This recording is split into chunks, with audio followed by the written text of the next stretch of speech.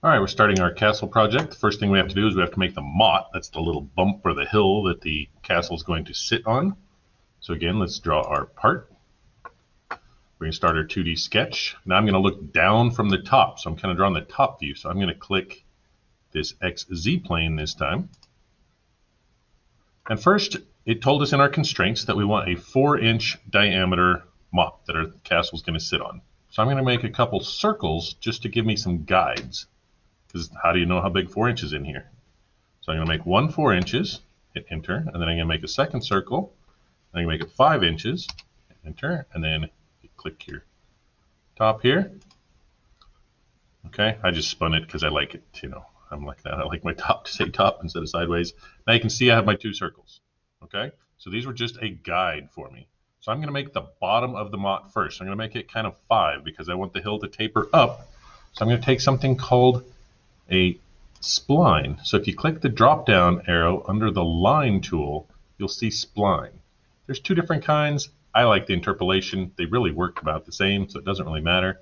Now I'm going to draw a little squiggly line. I don't want to go inside the 4. I want to stay kind of close to the 5. I can go outside a little bit if I want, but just make kind of a squiggly little line as we go around. Kind of going around the 5-inch circle.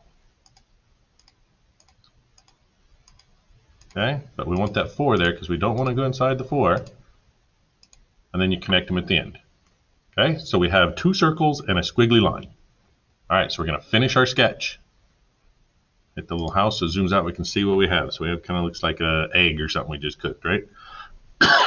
All right, so now we need to make what's called a work plane because we have to have another sketch that sits above this sketch. So we're going to go find make a work plane, another like piece of paper that we're going to draw on. So we click the drop down on plane, and we're going to make a plane that's offset from the plane we currently drew on. Okay, but it's like, where do I see that plane? I don't, but if I click on the origin, those are the planes. Remember, what did I draw? I drew on the XZ plane, so there it is. See how when I hover over XZ, it turns pink?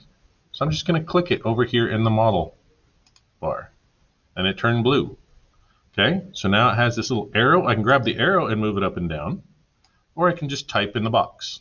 I'm going to put mine one inch above. So my little in, my hill is going to be one inch high. And click the check mark. And now you can see I have this new piece of paper to draw on. And you see over in this uh, model bar that I have something called work plane.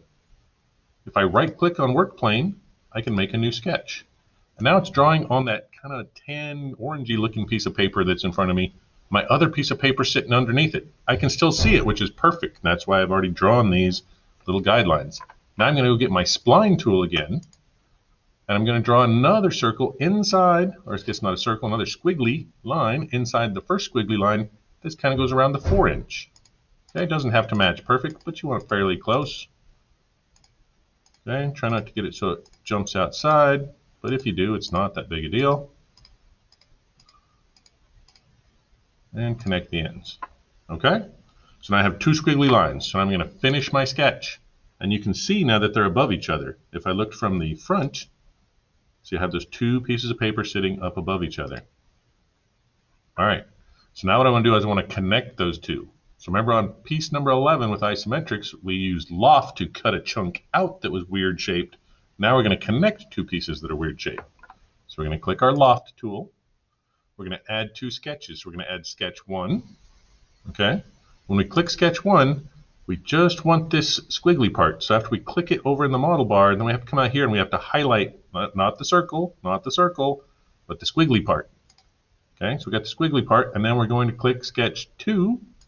Oh, sorry, I have to click click to add, then click sketch two, and then we're going to say okay, and it will connect my two pieces. All right, so I can see from the front, I have this kind of thick piece, and you can see it's kind of all wavy and goofy looking. And then if I look down from the top, I've got this bumper hill. And now I can draw my castle on this top part. And that is how to make your motte.